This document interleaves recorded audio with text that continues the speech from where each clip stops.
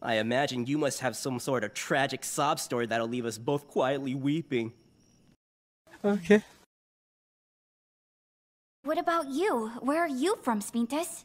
Huh, why should I have to tell you anything about me? I mean, you're just a lowly sixth. Okay. Hey, don't you want to hear it? Well...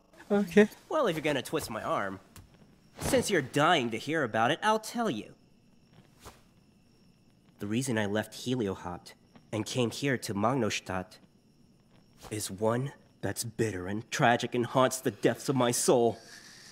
What are you doing? I'm trying to tell you about my special story! Bitch, I hope the fuck you do. You'll be a dead